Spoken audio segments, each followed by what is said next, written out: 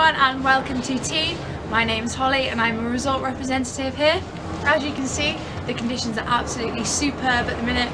We've had plenty of snow, we've had plenty of blue skies and more on the way and we do have some snow forecast for tomorrow to give us a nice little top up just in time for Pancake Day.